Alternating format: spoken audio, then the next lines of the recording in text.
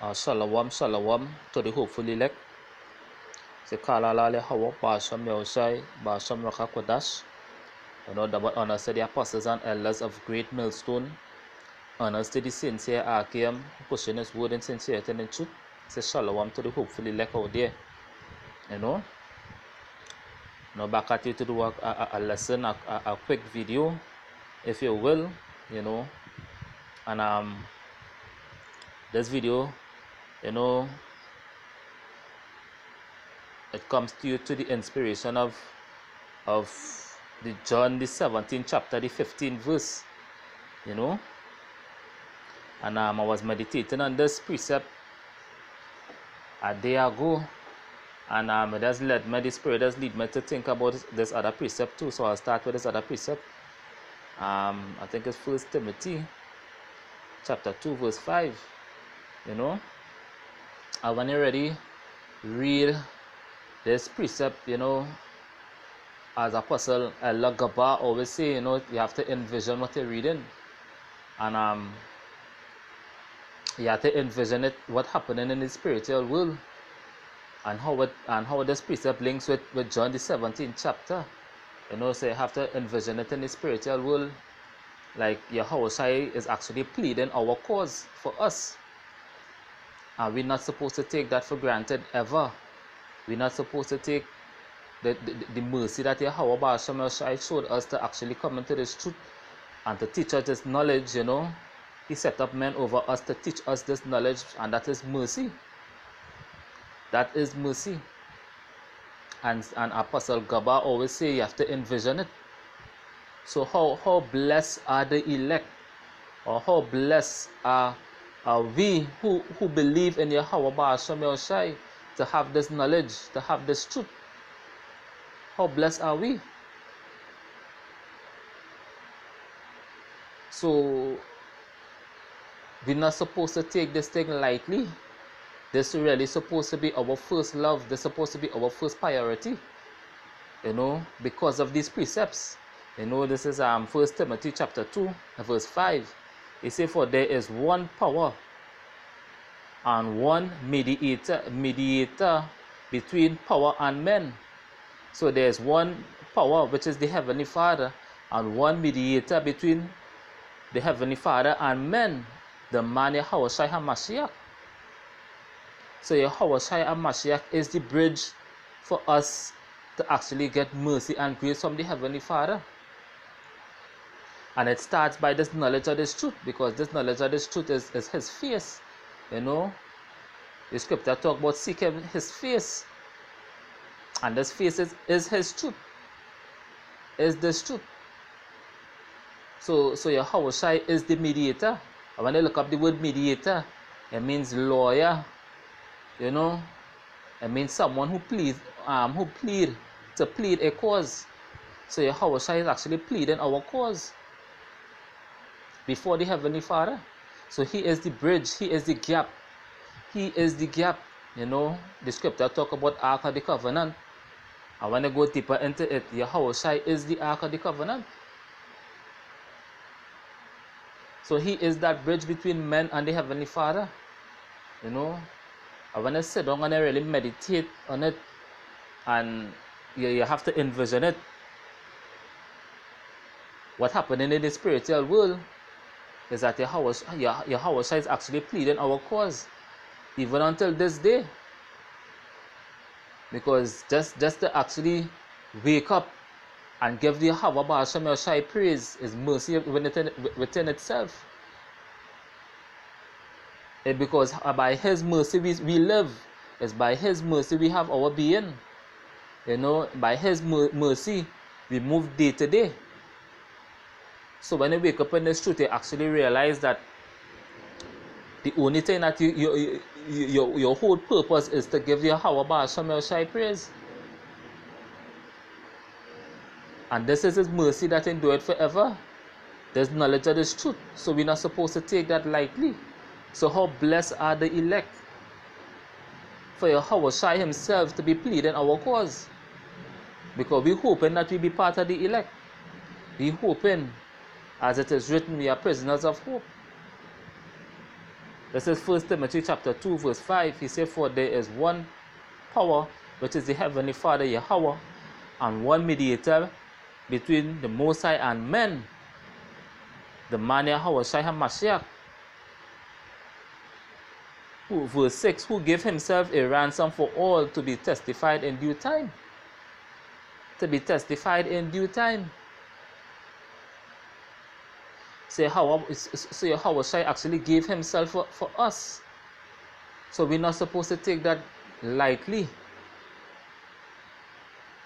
This truth is real heavy.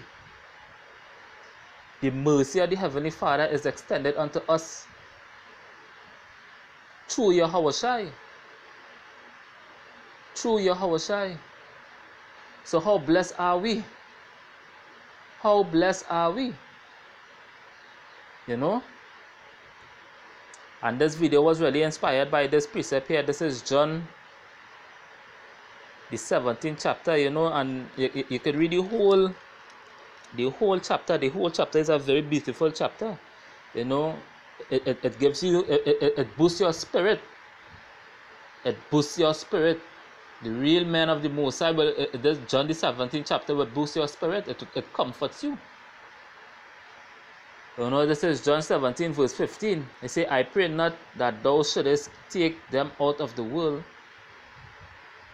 A matter of fact, let me read from verse 14. John 17, verse 14.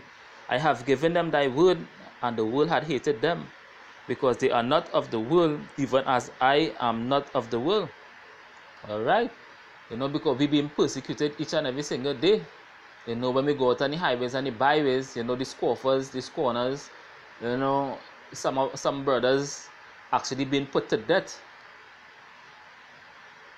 Because we, we, we represent the reprover of the world. Because we are, we are here to reprove the world. And especially our people two-thirds of our people. You know verse 7 verse 15 john 17 verse 15 he say i pray not that thou shouldest take them out of the world but that thou shouldest keep them from the evil. From the evil. When you look up the word evil, it means bad time.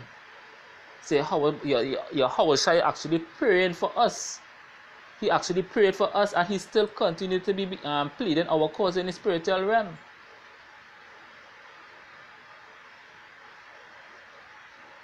You know? The Howard Shai prayed for us. Because He is the mediator. He is that bridge. He is that gap. You know? He is that, that, that Holy One who was, who was able to, to actually bring us.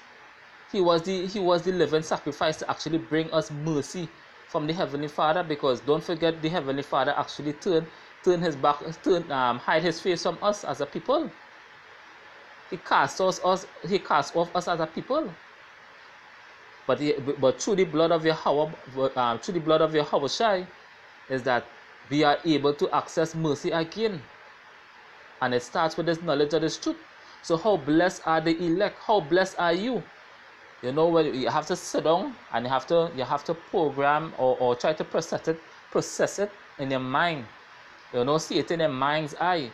How blessed are you really to actually know this truth and believe?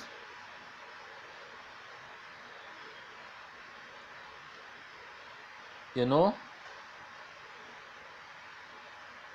Out of everyone uh, uh, on, uh, on, on the face of the earth, right now, the Most High actually chosen you to actually know this knowledge, know this truth. So, how blessed are you?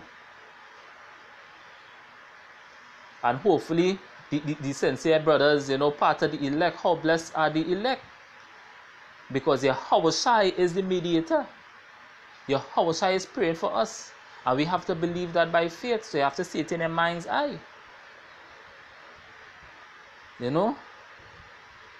And, and when you look up the word evil, I says evil means bad time. Because the day of the Lord is evil. The day of the Lord is an evil time. So we want to escape that judgment what actually coming because the Most High actually bringing that judgment. Saying, hey, what Yahawashi say? at, at the end of the precept, this is John 17, verse 15. I pray not that thou shouldest take them out of the world, but that thou shouldest keep them from the evil. They are not of the world, even as I am not of the world. So we hope when Yahweh Baal Shai bring his judgment that we, we can escape, that we could not we, we, we, uh, we would not be condemned with the world. You know? A matter of fact, as I said that, this is um I think it's First Corinthians uh, chapter 11, verse 32, if I'm not mistaken. Right, this is um this is First Corinthians chapter 11, verse 32. It said, But when we are judged, we are chastened by the High Yahweh, and that is love, that is mercy, and that is love. The chastisement that the Heavenly Father is actually bringing on, on, on us. You know, to humble us.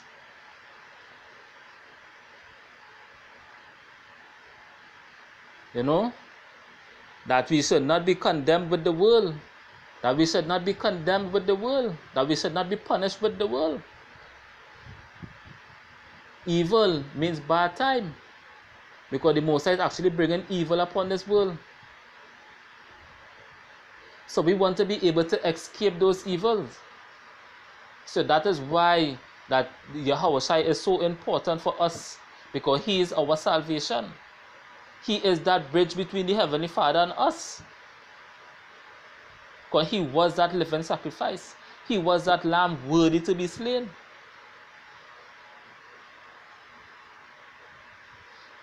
So my so so so always keep on keep, keep on like um thinking and processing in your mind like how blessed are the elect. How blessed are the elect.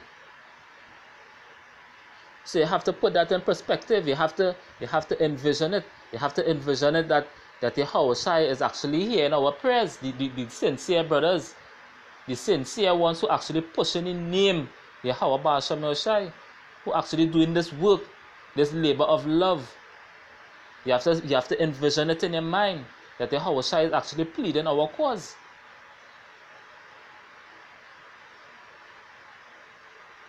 You know? Uh, this is um, Ephesians chapter 6, verse 13. It said, Therefore take unto you the whole armor of the Most High, that ye may be able to withstand in the evil day, and having done all to stand. So we take any whole armor of the Heavenly Father, that we, may, that we may be able to withstand in the evil day. So how shall I actually pray that the Heavenly Father keep us from the evil?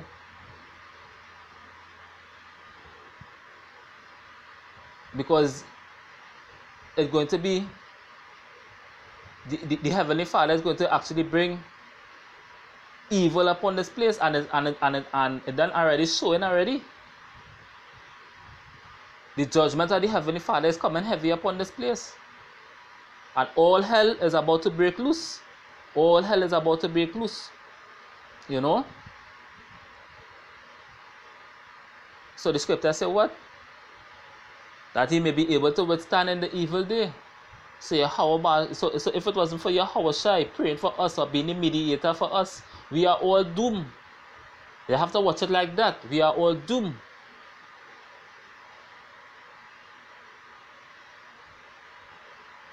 But Yahweh, but Yahawashi was the was the lamb worthy to be slain. So he is that bridge now. He is that ark. He redeemed the hopeful elect He redeemed the nation of Israel started with the well started with the elect. And through the elect the, the, the rest of the um the, the, the rest of the nation will be um established. But Yahawashi actually died for his elect. So you have to sit down and ask yourself, how blessed are you? How, how merciful Yahweh Baal Shai is unto us, I should say, to reveal his truth unto us. You know, because it's not by our will, it's not by our righteousness. Because all our, our righteousness are filthy rags. We have no power in ourselves. We are just mere vessels. We are just mere vessels, hoping and praying that we will be part of the elect. That is why we give diligence to make our calling and election sure. So it's not by our power, it's not by our strength, it's by the mercy of Yahweh Ba'asham Yahushai. It's by the mercy and the grace of Yahweh Yahushai we exist. We still exist. We still wake up in the morning to give Yahweh Yahushai praise all through the day. We worship Yahweh Yahushai. It's by His mercy we live. So we're not supposed to take this truth for granted for just a second. Because what Yahweh did for us, He gave His life for us and He prayed for us and He still continued to plead our cause before the, before the Heavenly Father. So you have to envision that in your mind. And when you think about it like that, it, it, it, it comforts you, it, it, it gives you strength to actually go on and face the trials during the day. Because your, your house is actually pleading our cause. You know? But it goes hand in hand. Because you, you have to be doing the work of the Heavenly Father. You know? And I just close it off with this last precept here. Uh, uh, Ephesians 6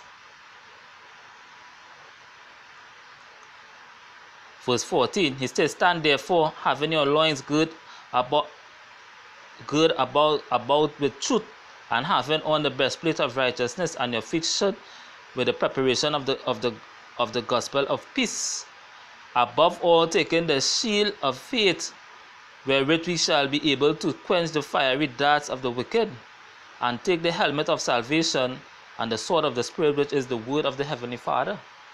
So, you know, the point coming up here, verse 18, he say, praying always with all prayer and supplication in the Spirit. So that what we're supposed to be doing. We're supposed to be praying all the time. We're supposed to be praying all the time. And our prayers, Yahawashi, you have to believe Yahawashi is actually hearing our prayers. Because when we take the whole arm of the Most High Yahweh Ba'asham Shai, are we doing things that is pleasing unto Yahweh Ba'asham Shai by making ourselves a sacrifice and doing this work day in, day out. You know? By faith, we have to believe that Yahawashi is actually hearing our prayer. So that why the scripture says, um, Ephesians 6 verse 18, it says, praying always with all prayer and supplication in the spirit and watching unto with all perseverance and supplication of all saints. You know, so the fourth part of the, uh, the verse is that praying always with all prayer and supplication. Another word for prayer is beg, it's to beg. So you're supposed to be begging. You're supposed to be begging and pleading with your house that he have that that he um that he hear our prayer and he plead our cause before the heavenly father you know and when you think about it you know as i say know i hope i get the point across in the video when you think about it this is what you have to envision you have to envision your Hawashai actually being that ark you know being that bridge for us to receive mercy again and we are receiving mercy because by this this knowledge of this truth which the world cannot perceive or the world cannot bear. It's just mercy within itself. You know? So with that, so hope it, hope this video was edifying. You know, till the next one. Shalom.